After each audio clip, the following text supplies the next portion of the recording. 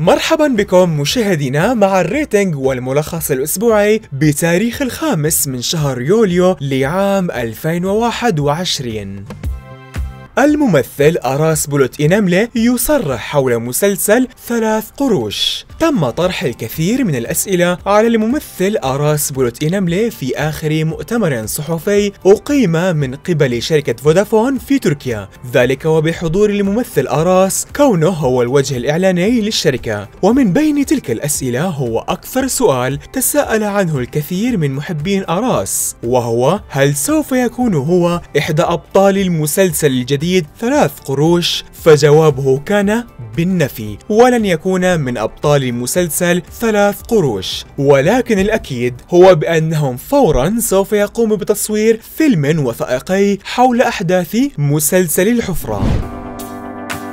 ومع مسلسل ثلاث قروش؟ من سيكون كتاب المسلسل؟ أصبح من المؤكد والمعروف بأن الممثل أوراس كايجالار أولو سوف يكون واحدا من بين الثلاث الشخصيات الرئيسية للمسلسل. وخلال الأسابيع الماضية أعلن بأن كل من داملا سرم ومراد أيور كولاك هم من سيتولوا سيناريو المسلسل. ومن أشهر أعمال الكاتبة داملا هو الموسم الثاني والثالث من مسلسل الحفرة. ومن الأعمال التي اشتهر بها الكاتب مراد هو مسلسل المدينة الضائعة. فيلم التراجيديا الجديد المرأة الحديدية. لعلكم سمعتم بقصة الفتاة التركية وهي نسلي جان التي حاربت مرض السرطان لأكثر من مرة. متخذا البعض إياها كمثال لقوتها وصبرها اتجاه هذا المرض. لتصبح حكايتها الآن في قالب درامي وثائقي في فيلم يسمى المرأة الحديدية. وسوف يبدأ تصويره قريبا من قبل المخرج أزجور بكر حيث أن المخرج رأى بأن أن الممثلة نازت شالا إرماك ملائمة لكي تجسد دور نسلجان ومن الوجوه التي سوف نراها في الفيلم هم كلا من زينب ألتشين ويوردار أكور وإلكار أكسوم ومسعود أكوستا ودينيز أور. من سوف يكون شريك الممثلة إيبرو في مسلسل الملحمة. ومع الاستعدادات المستمرة للمسلسل التاريخي الملحمة بطولة إبرو شاهين هنالك بعض الأسماء المرشحة للبطولة بجانب الممثلة إبرو. وهم كلا من الممثل كرم إرسلان أولو وبوراك توسكوبران حيث أن واحدا منهم سوف يكون بطل هذا المسلسل المنتج من قبل محمد بوزدا لصالح قناة آ التركية من أجل الموسم الجديد.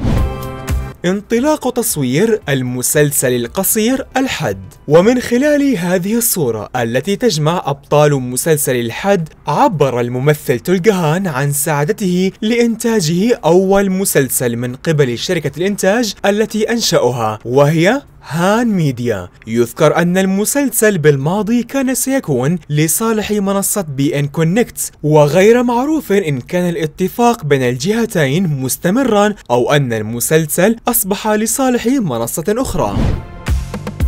الممثلة جوكتشي بهادر في بطولة مسلسل جديد. وأخيرا سوف تعود الممثلة جوكتشي في عمل مميز بعنوان الفراق وهو عن عائلة من النساء المحاميات المختصات في أمور الطلاق. وكتاب المسلسل هم كل من توبراك كراولو وسيدا تشالشلار ومن أشهر أعمالهم السابقة مسلسل رامو واليوم الثامن. متوليا مهمة الإخراج المخرج المبدع يوسف بير حسن. وسوف يكون المسلسل لصالح قناة فوكس من أجل الموسم الجديد.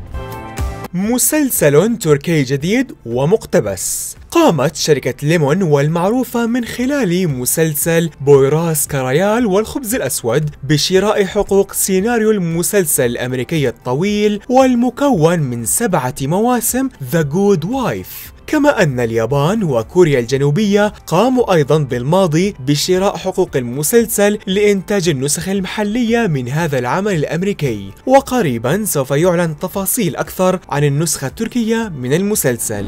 والآن مع الريتنج الأسبوع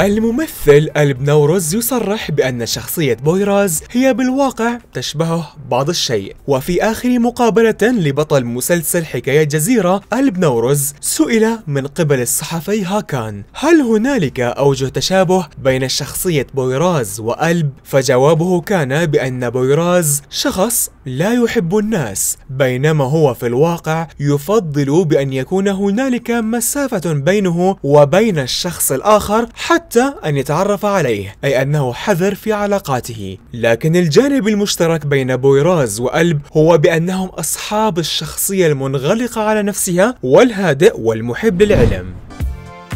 فيلم جديد من بطولة الممثلة مريم أوزرلي. رؤيا جميلة. هو عنوان فيلم جديد من بطولة الممثلة مريم أوزرلي ومن إنتاج المنتج الأمريكي جون مورسي حيث سنرى في قصة الفيلم طفلان يهربان من منزلهم سعيا لمقابلة نجمتهم المفضلة وسيكون الفيلم من إخراج البكمبار أعمال مميزة حول ليلة الخامس عشر من يوليو. شهدت تركيا في اليوم الخامس عشر من شهر يوليو لعام 2016 محاولة انقلاب فاشلة ليعودوا إحياء ذكرى انتصارهم على تلك المحاولة من خلال مسلسل قصير جدا وهو بعنوان سري. وسيعرض على قناة تريتسيبير في اليوم الرابع عشر من الشهر الجاري. وهنالك أيضا فيلم آخر بعنوان وقت الشهر الشفق حيث سيعرض في صالات السينما التركية في اليوم الخامس عشر من شهر يوليو الجاري.